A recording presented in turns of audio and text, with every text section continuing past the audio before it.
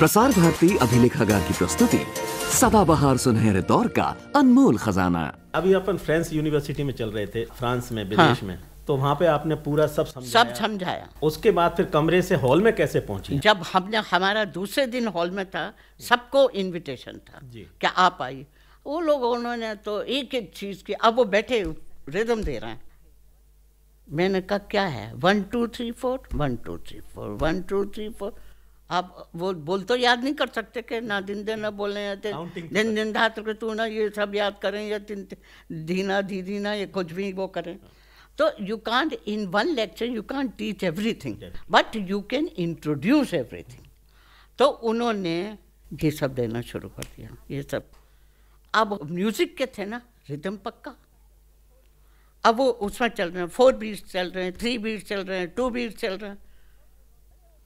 तब उन्होंने खड़े होकर के बैक स्टेज पर आके कहा today we thoroughly enjoyed because we were understanding अभी हमें हमारी ब्लाइंड डेली नहीं थी। You are the only one and the first one to do this तो मैं बहुत जगह जाकर ये किया ईरान में भी किया। ईरान में तो मेरा ऐसा ऑनर हुआ कि मैं आपको क्या king called me to his palace और खड़ा हो गया। कहने madam I bow to you the king is thing तो आप ये देखिए कि अभी मैं मोरक्को गई थी कुछ अर्से पहले। वहाँ कभी किसी ने सरोद नहीं देखा। बहुत जगह सरोद नहीं देखा। पोलैंड गई वहाँ भी सरोद नहीं देखा। बहुत कंट्रीज़ में सरोद ग्रीस गए। तो उन्होंने जो वहाँ के एजुकेशन कल्चर मिनिस्टर थे उन्होंने मुझे नेक्स्ट डे चाय पर बुलाया जी। मॉर्निंग में। House was packed by tickets the show was by tickets and were hundreds of people were standing outside the hall. लेकिन उन्हें अंदर नहीं घुसा सकते एक भी सीट खाली नहीं थी। तो वहाँ कोई भाषा नहीं समझता था तो सरोद तो देखा ही नहीं था। जब सरोद का प्रोग्राम हुआ मुझे कुछ आइडिया नहीं था कि क्या कैसा टेस्ट है क्या है। फ्रंट में तो सब वी बैठे थे वी वी तो जब प्रोग्राम ख़त्म हुआ ढाई घंटे बजाया मैंने। मैं तो वही अपना ढंग रखती हूँ। तो बजाने के बाद उन्हें नेक्स्ट मॉर्निंग हमें तालियाँ वालियाँ बजी जो सब होता है वो सब हुआ। बहुत से लोग मिले और बहुत से लोग बाहर सड़क पर ही गाने लगे लैंग्वेज आती नहीं थी अपनी। तो उन्होंने जब सुबह बुलाया ब्रेकफास्ट पर कहने madam I don't understand about any thing about your Indian music. And I saw this instrument for the first time but I tell you my feelings तो देखिए लोग पूछते हैं आपको सबसे अच्छा किसने कहा? तो आज मैं कहती हूँ इन्होंने कहा। कहले मैडम जब आप अपना इंस्ट्रूमेंट लेके बैठी और आपकी आँख बंद हो गई और आपके दोनों तरफ़ दो लॉन्ग इंस्ट्रूमेंट तानपुरों को कहा। those two instruments were giving such a good sound क्योंकि वो तो सुर में मिल जाता है ना तानपुरों की आवाज़। एंड यू स्टार्टेड प्लेइंग तो मैंने I thought you are going to Allah मियाँ you close your eyes and you are sitting in a boat उन्होंने मेरे सरोद को कहा कि किश्ती में आप बैठ गई। और दो जो तानपुरे थे उन्होंने कहा चप्पू हैं। ये चप्पू रो कर क्या बात है। देखिए उनका इमेजिन चप्पू रो कर रहे हैं और आप अल्लाह मियाँ पर जा रही हैं। तो मैंने सोचा मैं भी इनकी किश्ती में बैठ जाता हूँ और मैं भी अल्लाह मियाँ के चला जाता हूँ। लिसनर हो तो ऐसा। हाँ, देखिए कुछ नहीं समझते थे पर वो बोले जो जो साउंड थी उसने मुझे ऐसी भावना दी मैं भी आपके साथ अल्लाह में इसलिए मैंने शुरू में सही कहा कि आप अनाहत की तरफ़ ले जाती हैं हाँ, देखिए मैं क्या ले जाती हूँ? वो तो भगवान की कृपा होती है। देखिए ये किसी के बस का नहीं है। ये रोज़ एक सा नहीं बचता ये किसी के भी बस में नहीं है। ये ईश्वर की कृपा होती है तभी अच्छा बचता है। ये रियाज से भी नहीं होता टेक्निकल से भी नहीं होता ये सब मन की भावना सबसे बड़ी होनी चाहिए। आपने यहूदी मेन्यू के साथ ही हाँ ऐसा हुआ ईरान में कॉमनवेल्थ कॉन्फ्रेंस हुई थी। जी। तो कॉमनवेल्थ कॉन्फ्रेंस में कॉमनवेल्थ कंट्रीज़ के सब आए थे। बड़े बड़े आर्टिस्ट तो उसमें वियतनाम का भी थे। वो पहले भी हमारा प्रोग्राम हुआ था। मैं यहूदी मैनुइन भी थे। मैं भी थी इंडिया से। फिर बाद में थोड़ा लेट आए थे विलायत भाई भी आए थे विलायत खान तो सितार के लिए तो वो देर में पहुँचे थे। हम सबका एक ही स्टेज पर प्रोग्राम हुआ था। तो प्रोग्राम के बाद सेमिनार भी होते थे। तो मैनुइन कहने लगे शरण रानी बहुत फ्रेंडली थे वो बहुत दिल के अच्छे आदमी थे। बड़े थे वो भी मेरे से बहुत। तो कहने आई बाउ टू यू शरण रानी मैनुइन ने कहा। मैंने कहा why do you say such thing you are such an elderly artist तो कहले because you know I bow to every Indian musician whether he is small और ग्रेट जरा बात सुनिए वेदर ही इज स्मॉल और great because you are a conductor at the same time you are a performer you are a conductor you are a composer at the same time while you are playing performing आप खुद ही अपने को conduct कर रही हैं। आप खुद ही compose कर रही हैं और आप खुद ही परफॉर्म कर रही हैं। And we artists we western musicians for last so many years hundred years we are seeing the notation We are playing both and of- playing the same music over and over again. कहने की बात ये भी बड़प्पन ये भी बड़प्पन की बात। बहुत बड़ी बात। है वो उन्होंने बीथों में नहीं बजाया या अपने कंपोजर उनका भी कितना नाम था? उसी पे बजा रहे थे उसकी उनकी कोई कॉम्पोजिशन नहीं थी। कोई नहीं थी। लेकिन मैं आपको जो आप पूछ रही ना आज और कल में ज़माने में बहुत बड़े दिल के लोग थे। क्योंकि वो लोग साधक थे। उन्होंने समझा था दिल से समझते थे। मेरा नाम कैसे हुआ? इन सबों ने मेरी पीठ थपथपाई। तारीफ़ करी। कभी ये नहीं कर अरे लड़की है क्या है? आपने विदेश में और कौन से ऑर्केस्ट्रा में बजाया साथ नहीं ऑर्केस्ट्रा में नहीं। ऑर्केस्ट्रा में तो बजा ही नहीं सकते। एक मैं आपको गलत फहमी दूर करना चाहती हूँ।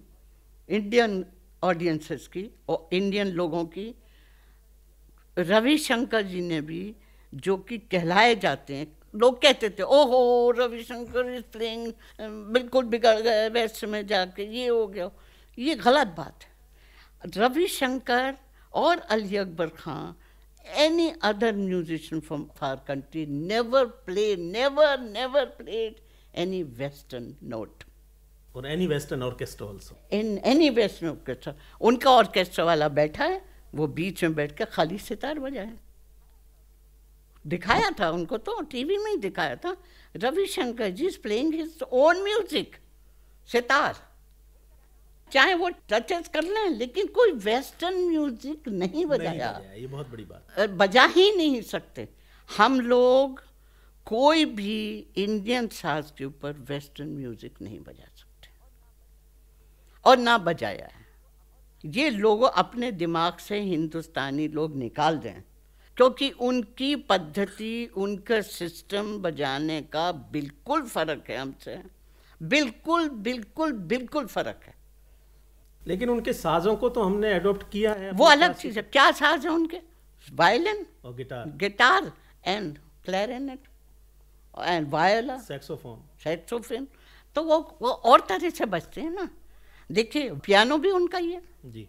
लेकिन मैं एक और बताती हूँ बात। इन सब साजों पे हमने अडॉप्ट किया पर हम बजा तो अपना रहे ना। अपना बना बजा हम राग राग नहीं बजा रहे आप गिटार में भी तरमे लगा लिए और हम राग राग नहीं बजा रहे हमने इंडियलाइज कर लिए हैं इंडियनाइज कर लिए तो और एक और आपको बताऊँगी बात कि दुनिया भर के किसी भी इंस्ट्रूमेंट में वेस्ट के हों कहीं के भी हों सिवाय हिंदुस्तान के साज में तरब है। सिंपथेटिक स्ट्रिंग्स हाँ, इसमें कोई दो राय नहीं। ये स्टडी की बात। सही बात। सिर्फ़ हमारे क्योंकि ये तरब हमारी आत्मा है हमारे संगीत की जो आत्मा है वो तरबें जो हैं आहस देती हैं। हम जो इंस्ट्रूमेंट में रे बजा रहे हैं सा बजा रहे हैं गा बजा रहे हैं माँ बजा रहे हैं तीव्र बजा रहे हैं शुद्ध बजा रहे हैं कोमल बजा रहे हैं उसमें वही तरबें उसको आहस दे रही हैं आहस दे रही हैं सांस दे रही हैं। तो ये आत्मा है ही नहीं वहाँ पर। वहाँ स्टेट वहाँ तो दिमाग से बना हुआ म्यूज़िक है। और बिथोवन ने बनाया है कुछ कॉम्पोजिशन जिसमें इंडियनाइज्ड है। इंडियन नहीं है वो हाँ नहीं है नहीं हो सकता। जैसे आज हमारे सब साज बहुत समझने की बात है मैंने साजों को बहुत स्टडी किया है और साढ़े चार सौ साज कलेक्ट किए हैं नायाब साज पंद्रहवीं शताब्दी से आज तक के। फिफ्टीन सेंचुरी से आज तक के इंस्ट्रूमेंट्स हर किस्म के कलेक्ट करके नेशनल म्यूज़ियम जो दिल्ली का राष्ट्रीय संग्रहालय है उसको मैंने गिफ्ट कर दिए भेंट कर दिए आपने एक बड़ी अच्छी बात की क्योंकि इस बात पे हम बहुत बाद में आना चाहते थे हाँ। लेकिन अब आपने ज़िक्र किया है। तो ये साज जो आपका दिल था हाँ। आपकी अपनी व्यक्तिगत धरोहर थी हाँ। आपकी आत्मा थी उसको आपने तुरंत दे दिया नेशनल म्यूज़ियम को। ऐसा क्या सोच के दिया? देखिए आत्मा तो मेरी सरोद है। जान मेरी सरोद है सांस मेरी सरोद है। जी। जीती मैं उसी के बल पर हूँ। जी। वरना तो मैं कब की मर गई होती। जी। और कुछ नहीं है मेरे लिए। लेकिन मैं ये बता रही हूँ ऐसा हुआ कि कई देशों में गई मैं बजाने तो मुझे एक भेंट कर दिया सास। एक भेंट कर दिया अपने मुल्क का सास। ऐसे करते करते मेरे पास पाँच छः सास हो गए। फिर क्या हुआ कि मैं जब बहुत छोटी थी जब मैंने आपसे कहा था गुड्डी गुड़ियों से नहीं खेलती। जी। तो जब मेरे पिताजी मुझे मेलों में ले जाते एग्जीबिशन में ले जाते थे जी। तो मैं क्या खरीदती थी खिलौना? हर वो खिलौना खरीदती थी जिसके हाथ में कोई बाजा हो डांसर हो। तो बचपन से मैं ऐसे खिलौने खरीदती थी। मेरे पास आज भी हैं वो खिलौने। रखे हुए फ्रॉम ऑल ओवर इंडिया और दूसरे, मेरा शार्पनर भी एक वायलिन था गिटार की तरह, छोटा सा। मेरी हर चीज़ ऐसी होती थी। और मैं किसी को पार्ट नहीं कर सकती। मेरे से कुछ भी ले लो।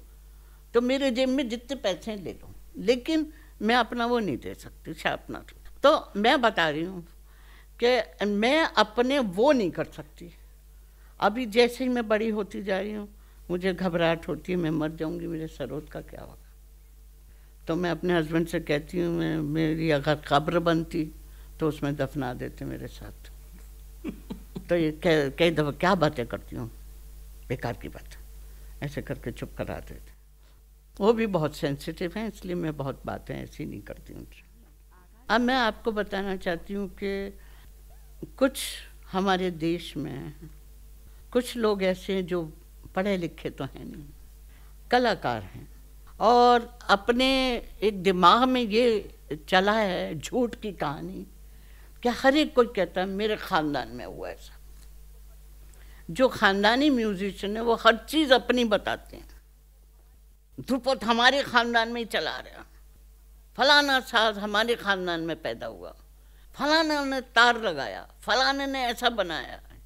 यानी ख़ानदानी ख़ानदान चला रहे हैं। ना तो किताबें पढ़ते हैं, ना वो आप हमारे यहाँ की केव्स देखने जाते हैं, जो कि एक प्रूफ है। हम, मैं एक तस्वीर खिंचवा लूँ, झूठी सच्ची, वो प्रूफ नहीं है। आप तस्वीरें दिखा दो कहीं से इकट्ठी करके, वो कलाकारों की। वॉट इज़ द पीरियड आप कैसे मुझे पीरियड बताएँगे आपने अपनी पाँचवीं सदी की? कि आपके पिताजी के पिताजी के पिताजी कौन थे? कब पैदा हुए? किसी के पास जन्म पत्री नहीं है किसी के पास कुछ नहीं है आजकल ग्रैंडफादर को भूल जाते हैं बच्चे। लेकिन सरोद का तो अपना इतिहास है। मैं मैं कहती हूँ हर एक का इतिहास है। देखिए मैंने किताब लिखी है सरोद पर। हाँ। डिवाइन सरोद। और क्या हुआ कि हमारे हिंदुस्तान में बाबा कभी झूठी बातें नहीं करते थे। हालाँकि सबसे बुज़ुर्ग वही थे। सौ साल के ऊपर उनकी डेथ हुई है। जी। कभी उन्होंने क्लेम नहीं करा कि सरोज मैंने बनाया या मेरे बुज़ुर्गों ने बनाया कभी नहीं। उन्होंने पैदा करा कभी भी झूठ नहीं कहते शरण जी हाँ जी। आप शायद पहली ऐसी महिला कलाकार हैं जिनका सार्वजनिक रूप से बहुत बड़ा अभिनंदन समारोह दिल्ली में हुआ। और आपके गुरु ने आपके बारे में जब उस समारोह में अपना संदेश भेजा तो एक सच्चे गुरु क्या लिखता है? वो मैं मेरे श्रोताओं को ज़रा पढ़ के सुनाऊँगा। वो लिखते हैं, बाबा अलाउद्दीन खान साहब, आप शरण रानी का अभिनंदन कर रहे हैं, ये जानकर बड़ी प्रसन्नता हुई। शरण रानी के बारे में क्या लिखूं? मेरी अपनी बेटी, शिष्या है। बरसों संगीत की साधना करती रही गौरवान्वित हूँ कि बेटी शरण का अभिनंदन दिल्ली में हो रहा है। मेरी शुभकामना है कि शरण इस प्रकार संगीत साधना में रत रहकर भारतीय संगीत की पताका फहराए। समारोह की सफलता की शुभकामना करता हूँ आशीर्वाद। तो उन्होंने तो अपने शब्दों में कह दिया का पताका फहरा है। तो पताका तो फहरा रही हैं आप। मालूम नहीं और गुरु महिमा के बारे में जो आपने बात कही अपने गुरु की वो निश्चय ही बहुत बड़ी भक्ति है। आज के युग में इस तरह की भक्ति देखने को नहीं मिलती है। तो बाबा के बारे में एक बात मैं पूछना चाहता हूँ कोई ऐसा क्षण हो जहाँ पे आपको ऐसा लगा हो कि बाबा कहीं आपके प्रति सिखाते समय कठोर हो गए हों? सिखाते समय बाबा के बहुत रूप होते थे। जी। और कठोर हो जाते थे लेकिन मेरे साथ बहुत जल्दी वो जब कठोर भी होते थे तो वो मुझे नहीं डांटते थे। जी। वो औरों के ऊपर अपना दुख मेरे से ज़ाहिर करना शुरू कर देते थे। कि मेरा जीवन कट गया। इतना लोगों को सिखाते सिखाते मैं कुछ नहीं कर पाया। राग सब गलथल गलत सलत बजाने लग गए। अच्छा आपसे सीधा नहीं कहते थे? सीधा नहीं कहते थे। और जब बहुत कहते रहते थे तो आँसू निकलने लगते थे मेरी गर्दन नीचे होती थी मैं सिर्फ़ सुनती रहती थी। जी। कुछ बोलती नहीं थी।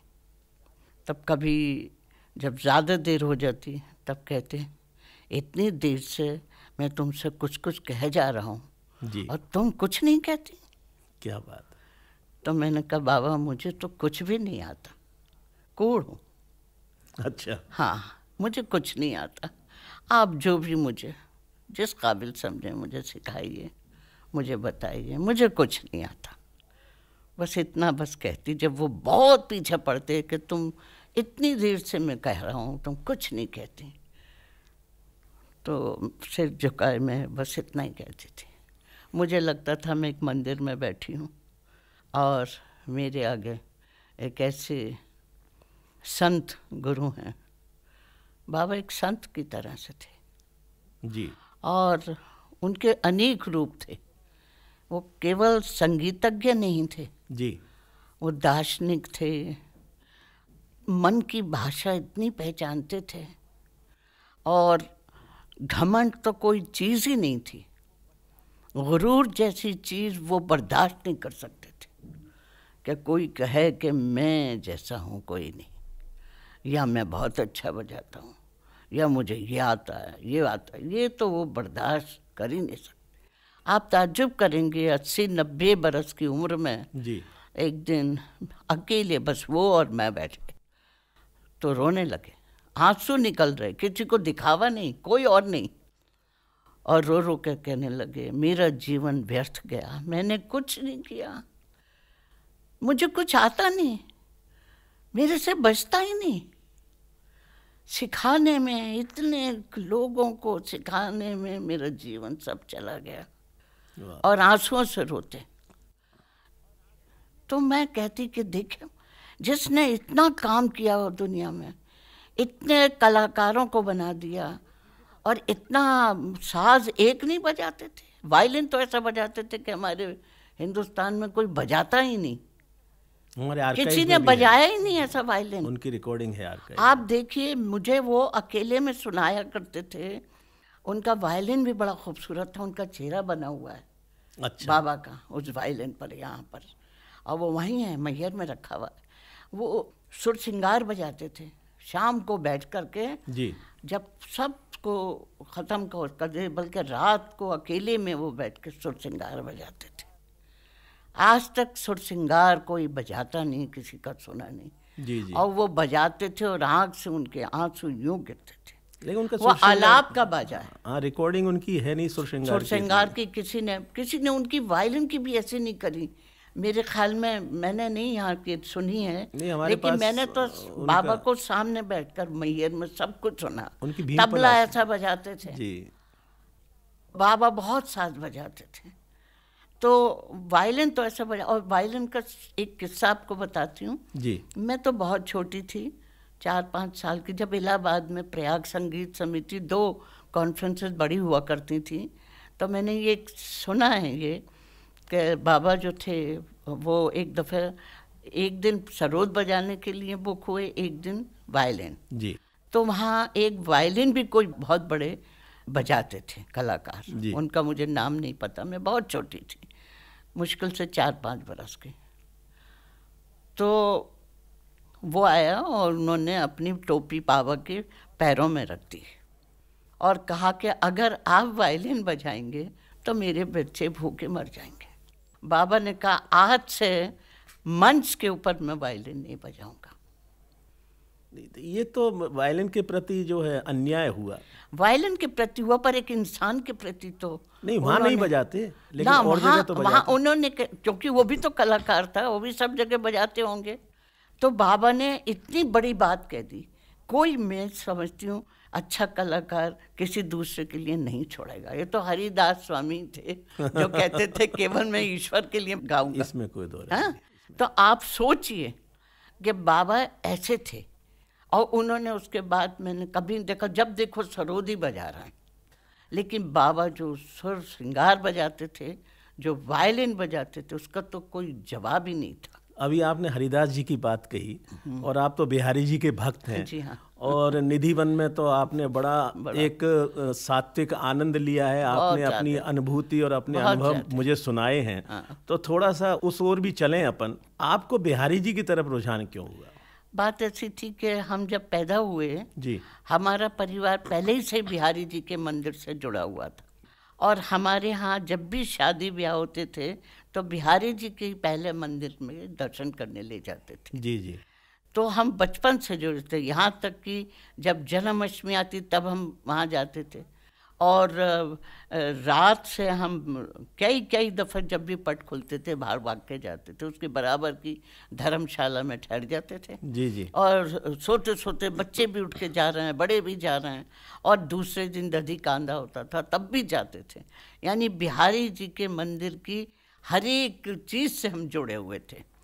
हमारा परिवार। मेरे ख्याल से वही एक कारण था कि संगीत की तरफ़ आपका रुझान हुआ क्योंकि बिहारी जी को लाने वाले बाबा हरिदास ही थे हाँ। और उन्होंने अपने अपने केलीवाल में 48 पद लिखे हैं हाँ। जो ध्रुपद धमार से बिल्कुल। पूरे आच्छादित हैं। और वो ऐसे ऐसे ध्रुपद हैं ऐसे ऐसे धमार हैं कि अगर उनको आज के जितने गायक हैं वो पता नहीं क्यों नहीं गाते या तो ये है कि वो ब्रजभाषा में हैं डिफ़िकल्ट हैं। लेकिन वो संगीत के अग्र थे हमारे बाबा हरिदास जी। और आप निधि वन में कई बार बैठी हैं आपको कई अनुभव हुए हैं। वो कोई अनुभव हमें सुनाएँगे? हाँ मैं आपको बताती हूँ कि जब भी मैं वहाँ बजाती यानी वहाँ पर निधि वन में बैठ कर के तो ऑडियंस में नाइन्टी परसेंट साधु संत होते थे। जी। बड़ी बड़ी जटाओं वाले बड़े बड़े ऐसे साधु के जिनके तेज लगता था कि ये वाकई में कोई पहुँचे हुए साधु। बहुत पुरानी बात बता रही हूँ फोर्टीज़ फिफ्टीज़ तो वो ऐसे लोग बैठते थे।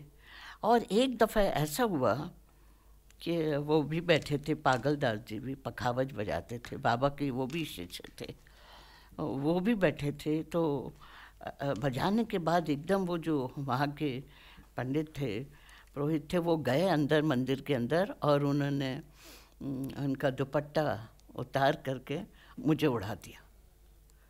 जी। एकदम उन्होंने वो दुपट्टा उतार के जो पहना हुआ था हरिदास स्वामी का वहाँ पर जो है उन्होंने वो दुपट्टा मुझे पहना दिया। जी। तो मैं इतनी रोमांचित हो गई और मुझे ऐसा लगा मैं बिल्कुल भूल गई कि लोग बैठे हैं यहाँ कोई इधर बैठा है मेरे उधर मुझे खाली वही दर्शन हो रहा है और उन्होंने मुझे पहना दिया। तो तकरीबन सालों मैंने वहाँ बजाया। और एक दिन की तो मैं बताती हूँ कि जब मैं वहाँ के पेड़ थे छोटे छोटे और वो ऐसे थे कि हम रात को जब वहाँ से बजा के निकले तो ऐसा लगा कि जैसे यहाँ पे गोपियाँ रास कर रही क्या बात तो मैंने कहा भी कि ऐसा लग रहा है ये सब गोपियाँ हैं। कहले तुम कहाँ कहाँ की सोचती हो? बाद में मैंने सुना कि वास्तव में ऐसा होता है। तो एक दिन की और बताती हूँ मैं बहुत जाती थी वृंदावन और जाती रहती हूँ। तो वहाँ पर मैंने वो जो दरवाज़ा है बड़ा सा फाटक जी हाँ। तो हम सब आ, आ, दिन का वक्त था बहुत बंदर वंदर होते हैं। तो वहाँ सब कहते हैं अपना चश्मा उतार लो हाथ में कुछ खाने का नहीं हो चना वना भी नहीं। तो जैसे ही हम उतरने लगे तो एक कोने में सूरदास जो देख नहीं सकता तो वो एक हाथ में दो तारा बजा रहा है। मुझे तो साज बहुत अट्रैक्ट करते हैं। जी। हमेशा से मैं रुक जाती हूँ तो मैं देखने लगी कि ये दो तारा है। जैसी मेरी आदत है कि ये मैं भी ये भी ले लूँ मैं। जी। तो मैंने कहा नहीं ये तो इसका खुद है ये तो खुद ही ऐसे देख नहीं सकते अपने बाज़ार तो मैं खड़े होकर सुनती रही। तो जैसे ही मैं सुनने के बाद इधर हटी एक सीढ़ी पर पैर रखा सामने क्या देखती हूँ साक्षात कृष्ण भगवान खड़े हैं। वाह। ग्वाले के वस्त्र पहने हुए पैर नहीं पैर नहीं लेकिन इस तरह क्रॉस मुझे दिख रहे और ऐसे और मेरी तरह मुस्कुरा रहे और ऊपर मोर मुकुट मतलब त्रिभंग मुद्रा। त्रिभंग मुद्रा में और मोर मुकुट। यहाँ पर और मेरी तरफ़ ऐसे स्माइल कर रहे तो कितना क्षण भंग में उनकी आँख में देख रही वो मेरी आँख में। और मैं एकदम मुझे लगा कि मैं तो देख रही हूँ कुछ तो मैं मुड़ करके ये मुझे छोड़ के आगे चल दिए। एक और लड़का था जो सितार बजाया करता वो भी मेरे साथ था। तो मैंने आवाज़ लगाई दोनों को अरे सुनो रुको रुको रुको। जब तक वो मुड़ गए कितना ज़ोर से गली में चिल्ला रही हो। मैंने कहा जल्दी आओ जल्दी आओ। जब वो आए कोई नहीं। मैंने कहा यहाँ कृष्ण भगवान खड़े थे। शरण जी, यही कारण है कि आपके सरोद में वो सात्विकता है। वो एक दैविक तत्व जो आता है, बजाते बजाते जब आप आँख बंद कर लेती हैं और एकदम खो जाती हैं तो शायद वो बिहारी जी ही की कृपा है। फिर वापस हम अभिनंदन ग्रंथ पर आते हैं। बीवी केसकर साहब जो हमारे पहले ब्रॉडकास्टिंग मिनिस्टर थे, वो आपके बारे में लिखते हैं कि the sarod which is a very difficult instrument to master has not been generally taken up by lady artist not generally कोई लेता ही नहीं था। I was the first one आगे लिखते हैं। She is the first one to take it up and do it successfully वो बहुत ज़्यादा वो करते थे और अपने घर में सभाएँ करते थे। केसकर जी। हाँ उनको अच्छा। बहुत शौक था। और घर में वो सारे कलाकारों को जो खत के बुलाते थे सब गाते बजाते थे। आप उस ज़माने में जो इतना रूढ़िवादी युग था औरतों को आपने जैसे बताया कि आगे आने में ख़ास तौर से गाने बजाने में तो बड़ी बड़ी ज़बरदस्त मुश्किल थी।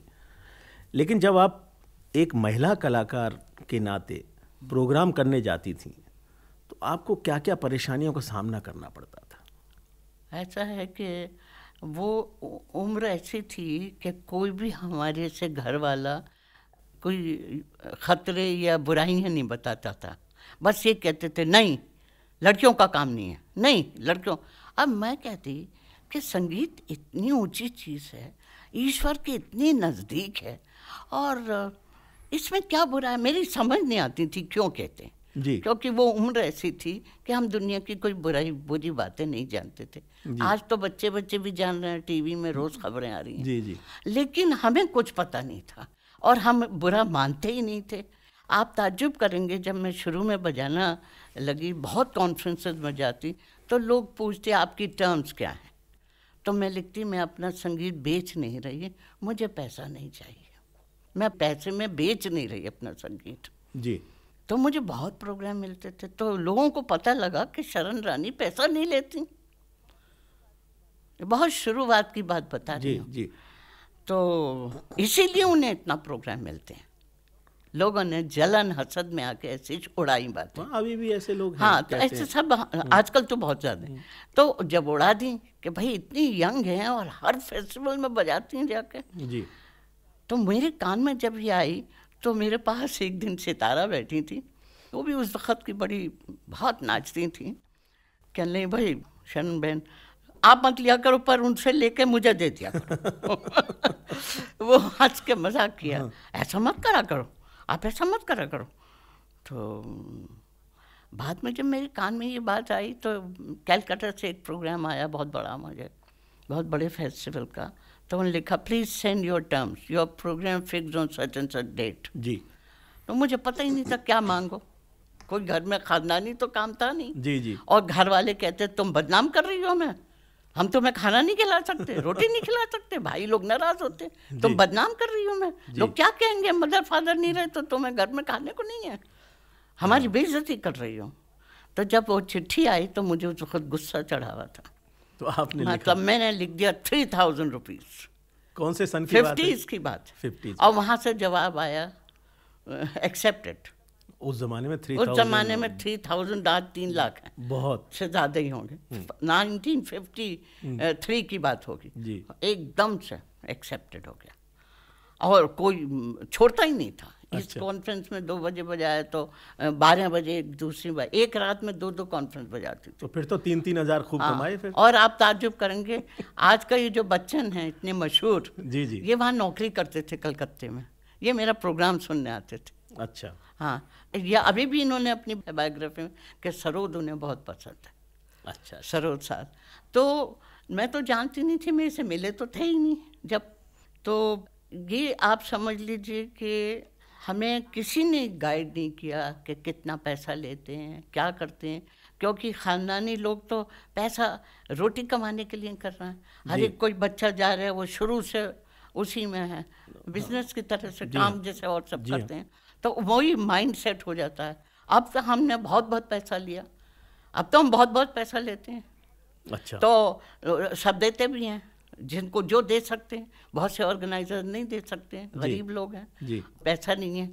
तो पैसा जहाँ जैसा मिलता है वैसा लेते हैं। जी। तो लेकिन मैं ये बताना चाहती हूँ कि हर एक दफ़ा मेरा गोवा में प्रोग्राम हो रहा था। वहाँ बंदोदकर थे उस वक्त। अच्छा। तो वो भी बैठे थे प्रोग्राम में। और बॉम्बे के एक बहुत बड़े जर्नलिस्ट थे क्या नाम था अब याद नहीं रहता मुझे। तो वो भी बैठे थे बहुत बड़े जर्नलिस्ट थे अभी हाल में उनके एक दो साल पहले डेथ हुई है। तो वो भी थे। मुझे नहीं मालूम। बजाने के बाद मेरे पास एकदम से कुछ लोग आए। कहले आपको मालूम है एक सेकंड के लिए आपने बजाना बंद कर दिया? अच्छा। बजाते बजाते दोनों हाथ आपके रुक गए। मैंने कहा ऐसा हुआ? तो मैं आपको बताती हूँ मुझे एक सेकंड को एक ये महसूस हुआ कि मैं यहाँ नहीं हूँ। वाह वाह। मैं यहाँ नहीं हूँ और मेरे दोनों हाथ रुक गए। अब मैं किसी और वर्ल्ड में थी कहीं और थी। ये बहुत पुरानी बात है मुझे भी अब अच्छी तरह पर ऐसा हुआ। उस एक सेकंड में आपने एक सेकंड में ऐसा हुआ हाँ। और अभी हाल में मतलब तीन चार साल पहले मैं वहाँ गई थी राजस्थान। पूरा टूर किया था। तो मैंने वहाँ पर नाथ द्वारा? नाथ द्वारा। जी जी। मैंने कहा मैं एक शर्त पे बजाने जाऊँगी जी। कि मैं नाथ द्वारा में मंदिर के कृष्ण भगवान के सामने बजाना चाहती हूँ। जी। उन्होंने वहाँ से कहलवाया कि आप चार बजे सुबह आइए जब कोई आता नहीं है। मंगला। और वो जब सोकर उठते हैं भगवान तब हम उनका श्रृंगार करते हैं। उस वक़्त आप बजाते जाइए। कोई नहीं होगा। मैंने कहा मैं ऐसे टाइम आना चाहती हूँ जब कोई ना हो। केवल मैं उनके लिए बजाना चाहती हूँ। तो मैं वहाँ पर पहुँच गई सुबह ही सुबह भोर। और मेरे साथ मेरे कंपनी थे एक दो स्टूडेंट्स थे। तो वो उनकी रज़ाई उतारी उन्होंने। बिल्कुल उनके चरणों में ऐसे बैठी। और रज़ाई वो ओढ़ा के रखते हैं। रज़ाई उतारी फिर उनके फिर मेरी आँख बंद हो गई। मेरे से देखा नहीं जा रहा था मेरा रोना छोड़ गया। मुझे लगा मेरे को तो बजाना नहीं आता। मैं क्या बजाऊं? मेरे तो हाथ नहीं चल रहा है दिमाग नहीं काम कर रहा। है वो जगह ऐसी है। वो जगह ऐसी है कि मैं बात करते में मेरे आँसू आ रहा है। तो वो मैंने आग बंद बंद कर ली। मैंने देखा ही नहीं कैसे श्रृंगार हो रहा है। सामने हो रहा है बस मैं अपना हाथ चला रही कि जो भी बैठा है वो क्या कर रही हैं? जी। तो वो मैंने सुबह का भोर का राग बजाया थोड़ी सी देर। फिर पाव फटने लगी। फिर वो कहने लगे एकदम से दूसरे पंडित आए कहने लगे, आपने यहाँ तो बजा दिया। अब आप उधर चलिए ना लड्डू गोपाल के लिए। बजाने। तो मैंने कहा चलिए चलिए। मुझे तो लड्डू गोपाल से बहुत प्यार है। तो वो हिंडोले में छोटे से में छोटे से लड्डू गोपाल बैठे हुए कहले उनका भी श्रृंगार हो गया आप चलिए उधर। तो मैं वहाँ बैठ गई। अब मैंने कहा मैं लड्डू गोपाल के लिए क्या बजाऊँ? जी। तो बाबा एक छोटे छोटे बच्चों के लिए बंदिश बजाते थे। अच्छा। हाँ, और ऐसे करके ऐसे ऐसे करके सुनाते थे बच्चों जी, को जी, गा करके। जी। तो बच्चा ना, नाचने लगे जैसे बच्चे को खेल लगे। जी। तो मैंने वो बंदिश बजाई। वाह वाह उनके सामने। तो बड़ा आनंद आ रहा बस फिर वो एकदम कह ले दरवाजे पे भीड़ आनी शुरू हो गई है। आपको हम दूसरे दरवाजे से निकाल देते। सब मेरे सास वास लेकर के बहुत सारा प्रसाद दिया उन्होंने। हम आ गए तो मैंने जगन्नाथपुरी में और वो बालाजी उधर सब जगह बजाया मंदिरों में। तो ये तो हुए मंदिरों के हाँ अनुभव जी। ये तो बड़े अच्छे अनुभव हैं सात्विक अनुभव हैं। हाँ। कुछ कड़वे अनुभव भी होंगे कि आप कैसी जगह गए वहाँ का रहने का इंतज़ाम कैसा हुआ खाने का इंतज़ाम कैसा हुआ? बहुत जगह हुआ। ऑर्गेनाइजर्स- पहले तो होते ही नहीं था अच्छा इंतज़ाम। मैं आपको बताती इटावा। बहुत मैं यंग थी। हाँ। मैं और डीवी पलुस्कर। अच्छा। हम दोनों का प्रोग्राम था। और किशन महाराज और अनोखे लाल जी तबले पे आए हुए थे। अच्छा। और भी आर्टिस्ट होंगे पर मुझे अपनी और डीवी पलुस्कर की याद है क्योंकि हम एक ही घर में ठहरे। जी जी। निहायत गंदा शहर था। और गलियाँ नहीं बहुत गंदी नालियाँ बच्चे बैठे हुए हैं बहुत गंद। तो हम दोनों वहाँ पर ठहरे हुए और डी डीवी पलुस्कर जी बहुत ही सीधे आदमी थे। जी। बहुत शरीफ आदमी थे। तो जब मेरा आइटम वहाँ आया तो वहाँ स्टेडियम की तरह बेंचेस थे। हज़ारों की भीड़ बैठी हुई। तो जब मेरा आइटम आया तो अनोखे लाल जी को तबला बजाना था। अनोखे लाल जी जैसा तो ठेका कोई है। ना दिन बजाता ही नहीं था। तो अब आवाज़ लग रही है नोखे लाल जी जहाँ भी हों आ जाए नोखे लाल जी जहाँ भी हों। वो किसी कोने में अपने पी रहे सुन ही नहीं रहे तब किशन महाराज को बुला कर लाए। तो वो लोग जो थे वह शोर मचाने लग गए। जितनी देर अनोखे लाल जी नहीं आए, शोर मचाने लग गए। तो किशन महाराज एक बंदूक लेकर आए और आकर अपनी बंदूक ऐसे करी। एक ने भी आवाज़ निकाली, ये बंदूक दाग दूँगा। अब पता नहीं वो झूठी बंदूक थी या सच्ची थी। वो भी बहुत ही उस जमाने में यंग थे। नहीं रिवॉल्वर तो रखते नहीं थे। नहीं बंदूक थी। अच्छा। और उन्होंने ऐसे रख ली सामने। और जनाब सन पेन ड्रॉप साइलेंट ऐसे सबने चुप चुप बैठ के अच्छा सुना। कल, कलाकार ऐसा भी करते हैं। हाँ मैंने पहली दफ़ा देखा। अब वो है भी जरा ऐसे मिजाज। एक दफ़ा वो टिक तिलक बहुत बड़ा लगाते। तो एक दफ़े तिलक लगा के नहीं आए। मैंने कहा भाई किश- किशन महाराज? सुनो भाई अभी एक मिले थे। किसी दिन आप बैठ गए बजाने बिना तिलक के तो कह लिए ये वही किशन महाराज है जो इतना बड़ा तिलक लगाते हैं? ये तो आज विधवा विधवा से लग रहा है। बड़ी अच्छी बातें होती थी। तो बहुत हंसे। हाँ। तो समझ लो चांदनी चौक से इटावे से लेके और अलीगढ़ से लेके और जो जो छोटे मोटे हाथरस से लेके और कानपुर लखनऊ इलाहाबाद बनारस सारे यूपी टाउन्स सारे साउथ के टाउन सारे पंजाब में लुधियाना जलंधर अमृतसर सब जगह बजाया है। सबसे ज़्यादा मज़ा आपको कहाँ में सबसे ज़्यादा मज़ा जो मुझे आता था Calcutta was the best second best Jalandhar second best क्या उसके मुकाबले इकट्ठ होता था उस ज़माने में। ये हरिवल्लभ वाला। हरिवल्लभ होता था। क्या चौबीस घंटा। अब तो बाकायदा नहीं नहीं लगा सुनिए आप तो छोड़ दीजिए आप टेंट तो जब भी लगता था। पर 24 घंटा नॉन स्टॉप होता था। ना सुबह होती थी ना दोपहर होती थी ना रात होती थी। कुछ नहीं वहीं बड़े बड़े अंगीठे रख देते आते थे। अंगीठियाँ और कंबल ले लेके 24 दिसंबर की कड़ाके की सर्दी में। 24 25 दिसंबर कोई या कलाकार ऐसा नहीं था जो नहीं होता हो जमाने का। जी हाँ। हाँ और तीन तीन दफ़ा गाना बजाना पड़ता तीन तीन रात सुबह या दोपहर या रात। तीन दफ़े गाना बजाना होता था सब फिरते रहते थे। और पाकिस्तान चले गए थे वो भी आते थे दोनों भाई। सलामत नज़ाकत वो भी उस ज़माने में आया करते थे। तो यहाँ के तो होते ही थे सब भीमसेन जोशी फिरते रहते। कब कब गाना है जी? कब गाना है? अश्विनी कुमारी इंतज़ाम करा करते थे। अश्विनी बहुत दिन रहे बहुत दिन बड़ा डिसिप्लिन रखते थे। बहुत ऐसा सम्मेलन करते थे और लोग बाग जो थे हटते नहीं थे खाना खाने नहीं जाते थे। वहीं पर कुछ मिल जाता खा लेते। वहीं कम्बल लिए सो रहे हैं और गाना चल रहा है। जी जी। सो भी रहे हैं क्योंकि 24 घंटे कैसे सुनेगा आदमी? वहाँ पर रुकता ही नहीं था। देर वॉज़ नो इंटरवेल ऐसे ही पटना में। तानसेन में भी पहले ऐसे ही होता था 24 घंटे। पर वो तो एक आध जैसे होता है ना दिन वो तो चलता था तीन चार दिन जी, जी। जलंधर का। और आप ये देखिए पटने में तो कई होते थे। यानी पटने में चौराहे पर। जैसे आप बीच में सिपाही खड़ा था लाल किला इधर है चांदनी चौक इधर है कश्मीरी गेट इधर है इधर आ रहा जी, है। जी। बीच का जो सिपाही को हटा दीजिए वो स्टेज वहाँ पे स्टेज बना दी। ऐसे पटने में लंगर टोली और बड़े बड़े दुर्ग बहुत प्रोग्राम होते थे। वहाँ पे रख दिए और ट्रैफ़िक पाँच बजे से बंद पाँच से भी पहले ही से बंद। कोई सवारी नहीं चल सकती थी सब पैदल और ट्रक वाले सुबह से खड़ी कर देते थे उस पर खड़े हो जाते थे अच्छा। उस। पर बैठ जाते थे। कोई कुर्सियाँ नहीं होती थी कोई थोड़ी सी कुर्सी रख देते कोई भी वीआईपी के लिए। बस और स्टेज पर बैठ के रात भर गाना बजाना होता था। मैंने देखा सुबह के सात बजे तक बजाया है ढाई बजे से आए नहा धो करके क्योंकि नींद आ रही होती थी। तीन बजे बैठ रहे हैं बजाने चार बजे। और लोग हट के नहीं दे रहा। नहीं उठते साइकिल रिक्शा से वाले से लेके ट्रक ड्राइवर से लेके गरीब आदमी अमीर आदमी हर तरह का आदमी पढ़ा लिखा भी पढ़ा लिखा सारे लोग सारी रात सुनते कोई बेइज्जती नहीं करता था कोई चिल्लाता नहीं कोई था। नहीं। को सब होते थे कलाकार लोग हैं बड़ा भारी संगीत समय सब सुनते।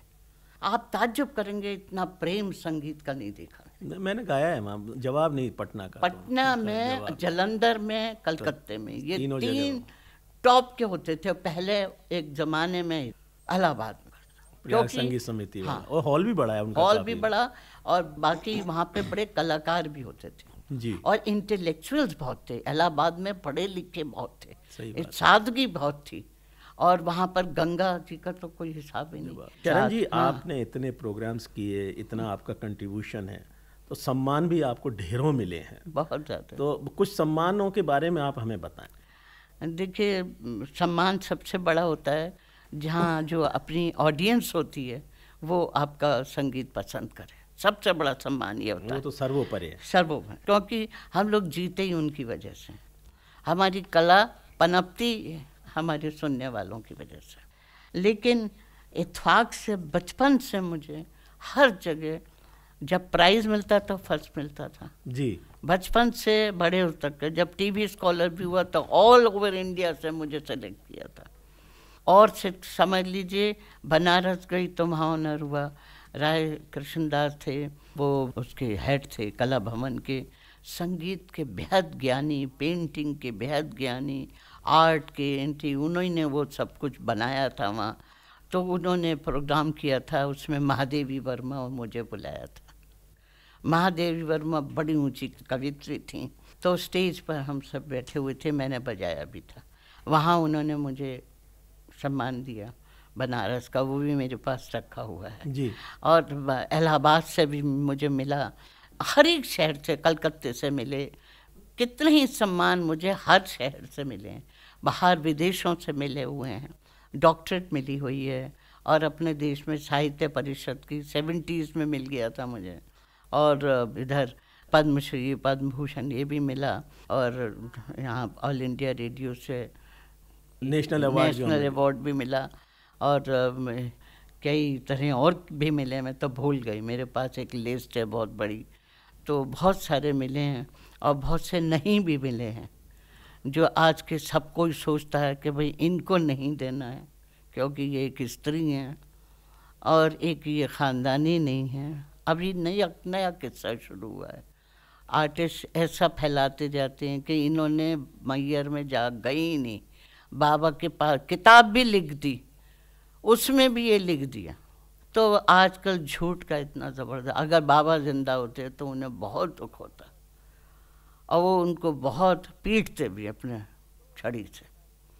तो मैं बताती हूँ कि आज जो ज़माना आ गया है वो इस कस्म का आ गया है खुशामद। हमारे जो बड़े लोग हैं वो तो ना तो समझते हैं ना उन्हें फुर्सत।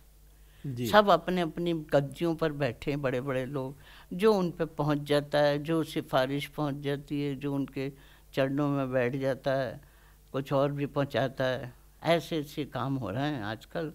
मीडिया है आती है हमारे पास कितनी जर्नलिस्ट। मीडिया काम भी बहुत अच्छा कर रहा है। लेकिन अफसोस की बात यह है कि मीडिया में संगीत को समझने वाले नहीं हैं। वो उनको जो कुछ बता देते हैं मेरे पास भी आते हैं तो वो कहते हैं हम तो कुछ जानते ही नहीं। वो अच्छे अच्छे कलाकारों का नाम नहीं जानते। वो कहते हैं हम तो कुछ नहीं जानते। आप ही क्वेश्चन बना दीजिए आप ही जवाब दे दीजिए। आप मैंने कहा मेरे पास इतनी फुर्सत नहीं है इतना मैं आपके लिए काम करूँ। ये मीडिया की बात चल रही है। हाँ। और आप इस बात से तो मुझसे सहमत होंगी कि आकाशवाणी एक ऐसी संस्था है, जिसने शास्त्रीय संगीत को संजो के रखा है, शास्त्रीय संगीत को प्लेटफॉर्म दिया और हमारे जितने शास्त्रीय संगीत के कलाकार हैं, उनको घर घर पहुँचाया। तो आकाशवाणी से संबंधित आपके क्या विचार हैं? उस समय क्या थे और आज क्या है? मेरे हमेशा से आकाशवाणी के लिए विचार ये हैं कि आकाशवाणी की वजह से कितने कलाकार बन गए, कितने कलाकार ज़िंदा रहे। और जगह जगह पहुँचाए गए संगीत सम्मेलन के माध्यम से पहले तो चेन बुकिंग भी होती थी एक जमाने। में आकाशवाणी से चेन बुकिंग भी होती थी हाँ। और एक रेडियो खाली रेडियो ऐसा माध्यम था आज से नहीं बरसों से पिछहत्तर साल से ऊपर हो गए जी हाँ, जी हाँ। कि रेडियो ही माध्यम था जिसमें आप शास्त्रीय संगीत भी सुन सकते हैं टॉक्स भी सुन सकते हैं आज तो रेडियो ने इतनी तरक्की करी है मेरे से पूछिए मेरे पे बहुत लोग शिकायत करते हैं फ़ोन की जी। कि देखिए क्या हो रहा है? रेडियो की हालत इतनी गिर गई है बस रिकॉर्डिंग बज रही है ये हो रहा है। मैंने कहा रिकॉर्डिंग तो अच्छी बजाते हैं ना आर्काइव से निकाल के बजाते हैं। लेकिन देखिए संगीत का प्रचार जितना रेडियो ने किया है किसी ने नहीं किया। और रेडियो से जुड़े हुए सारे लोग बचपन से बुढ़े हो गए। जी। बजाते बजाते गाते गाते। तो रेडियो से का तो कंट्रीब्यूशन आज और बढ़ गया है। संगीत का तो प्रचार करते ही हैं। अब उनके जो प्रोग्राम है, आप ताजुब करेंगे कि ग्रामीण प्रोग्राम से लेके, बच्चों से लेके, औरतों का, बहनों का, आधा आकार से लेके सारे प्रोग्राम मैं सुनती हूँ। और मैं ये देखती हूँ कितनी नॉलेजेबल प्रोग्राम कर रहे हैं और कितनी हेल्पफुल कर रहे हैं कि जैसे स्त्रियों के अंदर इतनी नॉलेज देते हैं और इतनी डॉक्टरेट यानी बीमारी, कोई गरीब लोग हैं, नहीं जा सकते। उन्हें समझ नहीं है उनको कितना वो उसकी समझ पैदा कर रहे हैं, उनका उत्साह बढ़ा रहे हैं, यानी शिक्षा की तरफ़ उनका ध्यान कर रहे हैं, बच्चों की देखभाल के ऊपर कर रहे हैं, बड़ों की देखभाल पर, यानी औरतों को उनके क्या राइट्स हैं, उस पर जागृत कर रहे हैं। तो वही नहीं, गाँव में क्या हो रहा है, गाँव में क्या करना चाहिए, अब शिक्षा करनी चाहिए, सेहत के लिए क्या करना है, और दुनिया की देते हैं उन्हें खैर खबर। तो मैं कहती हूँ, सारे ही प्रोग्राम इतने बढ़िया कर दिए हैं। मैं रेडियो की बहुत ज़्यादा प्रशंसक हूँ।